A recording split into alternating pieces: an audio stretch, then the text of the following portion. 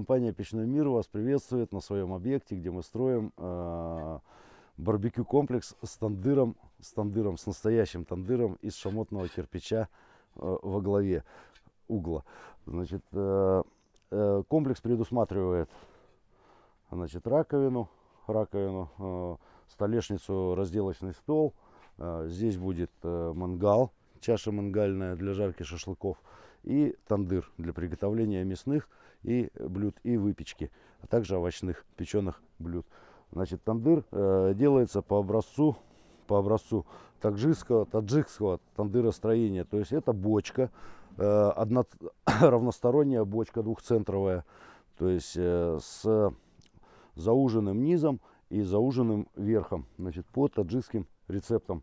Э, тандыр высотой 90 сантиметров, 88, значит, с основанием 65 сантиметров внизу.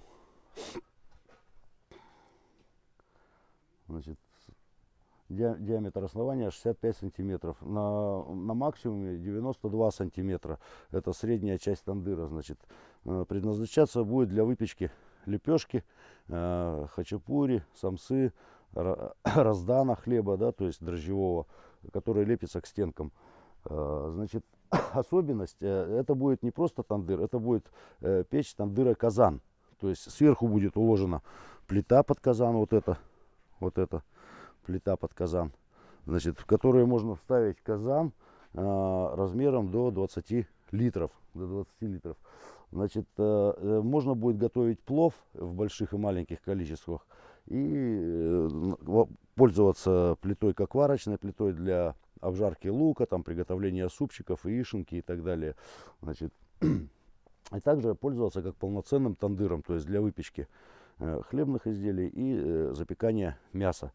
Значит, особенность, особенность монтажа, особенность монтажа тандыра казанов э, в нашем понимании такова, что дверка, э, когда мы совмещаем и казан, и тандыр, Дверка устанавливается 20 сантиметров, 23 от э, пода тандыра.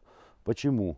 Значит, э, в процессе э, приготовления плова, когда мы тандыр перекрываем казанной плитой, в процессе приготовления плова, значит, э, особенность такая, что э, первое время, э, первые самые продукты, которые закладываются в казан, готовятся на большом огне.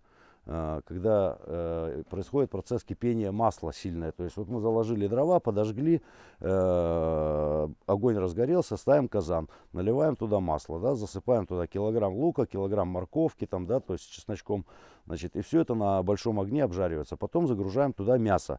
За это время, пока жарятся овощи, а дрова немножко прогорают, огонь оседает, то есть температура понижается. Мясо уже готовится не в таком кипящем масле, да, то есть и овощах, а уже как бы тушится.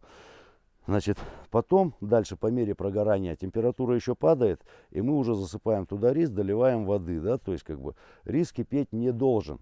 Так вот, если мы сделаем дверку внизу, внизу, а поскольку у нас э, перекрыто плитой и есть выход, да, то есть с тандыра э, в дымовой канал, то тяга при незакрытой дверке будет все время угли воспламенять. И процесс томления, томления риса мы не получим. Он будет все время кипеть, как в супе, как в ухе, то есть булькаться там ну, на первом этапе.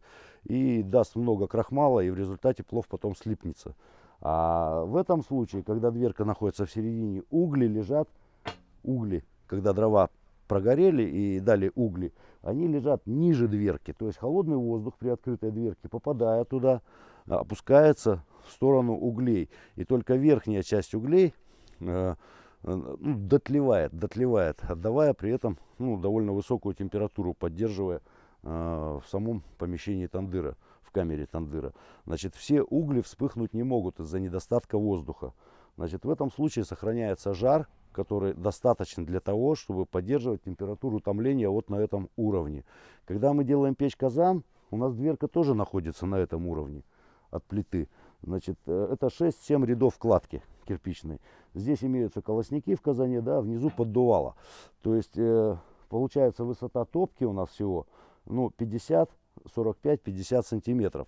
Этого достаточно, чтобы от колосников сформированное пламя факел доставали до дна казана. И когда дрова прогорели, допустим, э, температура томления уже настала, мы можем подложить одно или два маленьких полежка, чтобы чуть-чуть поддерживать температуру.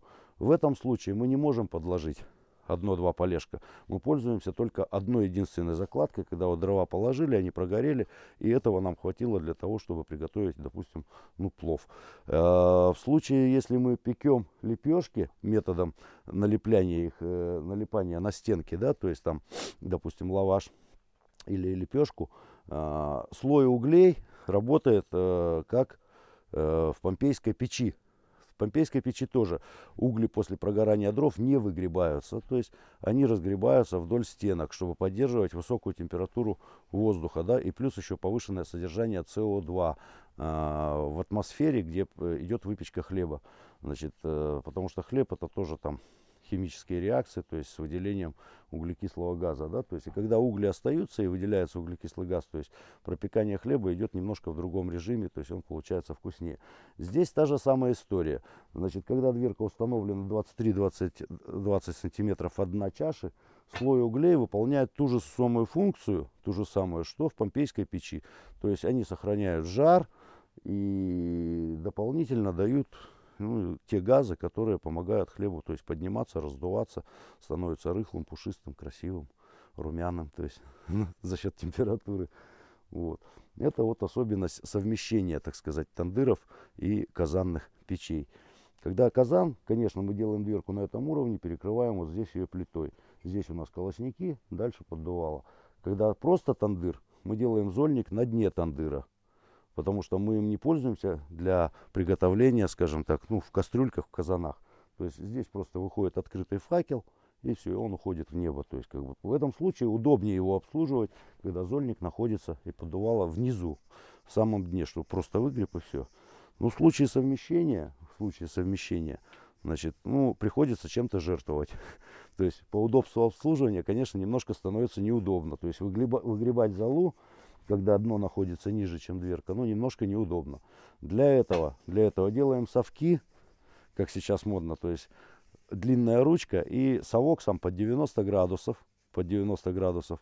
То есть убираем колечко, загружаем совок и щеточкой сгребаем туда залу. Вытаскиваем и ссыпаем ее в ведерко. То есть обслуживается точно так же. А дрова закладываются через вот эту дверку. То есть в случае, если надо подложить, то есть добавить температуру. То есть все вполне удобно. Ну, чаши в настоящих мангалах делаются то, тоже по тому же принципу. То есть э, чаша должна быть глубиной 17, 19, 21 сантиметр. И она должна быть вся наглухо выполнена из кирпича, то есть для увеличения теплоемкости.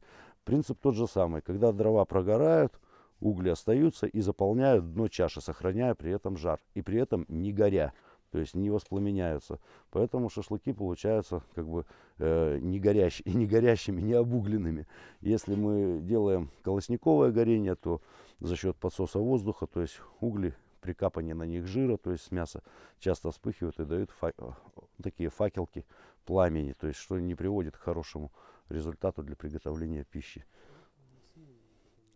Значит, в следующий раз, когда будет чаша сложена, мы вам обязательно покажем и покажем процесс приготовления и здесь, и здесь, то есть, э, ну, как готовится мясо в тандыре, как готовится мясо в каменной чаше, то есть правильно устроенной. Э, ну, а пока вот есть то, что есть. Всего доброго, с вами был Александр Кутузов, компания «Печной мир».